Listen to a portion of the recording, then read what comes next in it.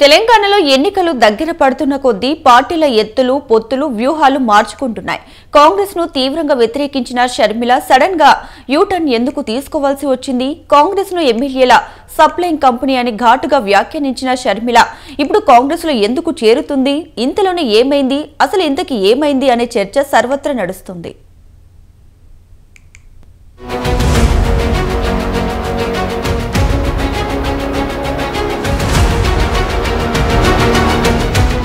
రాజన్న రాజ్యం కోసం ఏర్పాటైన వైఎస్ఆర్ తెలంగాణ పార్టీ రాజన్నను అధికారంలోకి తీసుకువచ్చిన కాంగ్రెస్లో విలీనం దిశగా అడుగులు వేస్తోంది. పార్టీ పెట్టి పాదయాత్రతో ప్రపంచనాన్ని సృష్టించాలనుకున్నారు. కానీ బలమైన నాయకులు జనాదరణ పొందిన లీడర్లు షర్మిల పార్టీ వైపు ఒక లుక్కు కూడా వేయలేదు. కనీసం అటువైపు కూడా తొంగి చూడలేదు. అయినా ఒంటి చేత్తో కేసీఆర్ ప్రభుత్వం వైఫల్యాలను ఎండగడుతూనే ప్రతిపక్ష పార్టీలైన కాంగ్రెస్ బీజేపీ నేతలపై సైతం విమర్శల తూటాలు పేల్చారు షర్మిల. సడన్గా ఆమెలో ఆ స్పీడ్ తగ్గింది.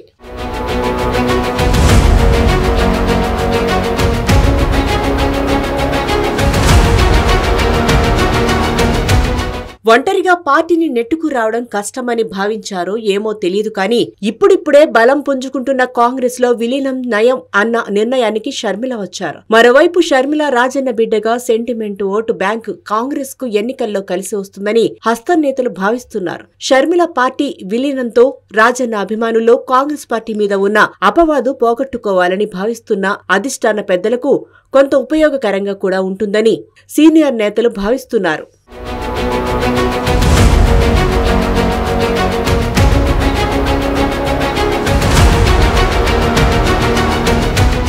తెలంగాణ రాజకీయాలకే పరిమితం కావాలని షర్మిల భావించారు. కానీ హస్తిన పెద్దలు మాత్రం ఏపీ రాజకీయాల్లో కీ రోల్ పోషించాలని పార్లమెంటు ఎన్నికల సమయానికి కాంగ్రెస్ ఓటు బ్యాంకును పటిష్టం చేసేందుకు షర్మిలకు బాధ్యతలను అప్పగించాలని కాంగ్రెస్ అధిష్టానం చూస్తోంది. అయితే తెలంగాణ రాజకీయాల మీద గంపెడు ఆశలు పెట్టుకున్న షర్మిలకు ఆ ప్రాంతంలో గెలిచినా ఓడినా అక్కడే పరిమితం అవ్వాల్సి వస్తుందని సున్నితంగా సూటిగానే చెప్పిందట అధిష్టానం. అయితే వైఎస్ఆర్ టీపీ విలీనం తర్వాత షర్మిల దూకుడును కాంగ్రెస్ తట్టుకుంటుందా అన్న అనుమానాలు సైతం హస్తం శ్రేణుల్లో వ్యక్తమవుతున్నాయి. కాంగ్రెస్ వైఎస్ఆర్ తెలంగాణ పార్టీ ఉమ్మడి లక్ష్యం కేసీఆర్ను ఓడించడం.